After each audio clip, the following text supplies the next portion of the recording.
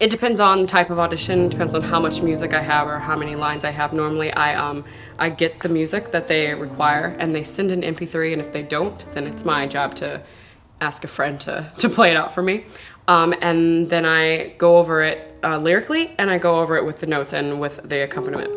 And then I also go over the lines over and over and over out of sync so that I memorize them and then with thought and feeling and as an actor, you know, once I have the lines down. She does it. What I'm thinking about in my audition is first and foremost not to mess up, reminding myself rather to stay in the moment because I want to have um, the most truthful audition possible. Whether I mess up or not, um, I, I want to make sure that I, I stay in the moment and to do the material justice and do it from a place of honesty for myself.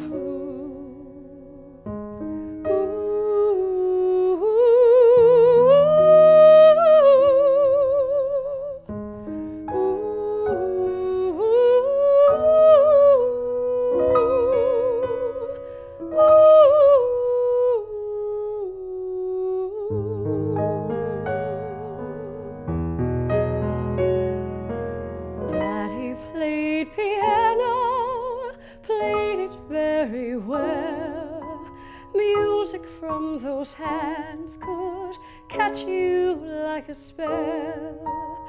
He couldn't make you love him,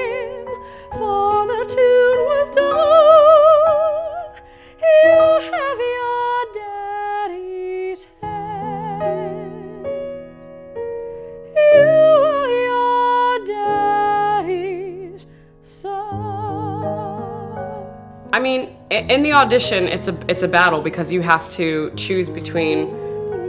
Sometimes you have to choose between doing the material and, and doing what you know and and playing the character. So you have to find a happy medium of doing a little bit of both because you know it's an audition process. It shouldn't be polished yet. It shouldn't be something that's in your body because that happens later, and um, oftentimes they don't want to see that. Um, so you just have to find the balance of bringing uh, a little bit of what you've developed of a character and all of your knowledge of the material together, and and hoping it, it plays out. Nothing to it. once you get hired for the job and you, and you get the job in terms of uh, bringing a character to life for me i have to know my music first so that i'm not stumbling over it once i get in the rehearsal room. So once i know the music and i start learning choreography then it it all goes together so that when i sing one word and this move goes with it. my brain connects all of that. So it, it helps in learning their process and therefore i can develop the, the character without having to think my left hand goes here because they all go together. I can be in my living room and learning lines and songs all day but until i know what that physicality is and, and what i'm going to make that character be then it's not Velma Kelly or it's not the leading player until I put it together. Everybody's different. I do have friends that have to learn the movements first so that they can put the words with the movements, you know, so it's just all a matter of how your brain works. But for me, I have to know the music because it's a language and it's it's your conversation, so to speak. It's it's what you're talking about. So once I know that, then all of my moves uh, dictate that, and then and then the character comes. Yeah. Now you've seen me going through it.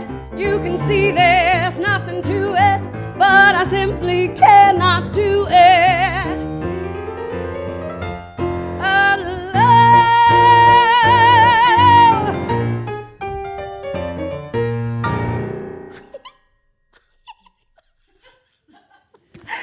Great, we're gonna do it again.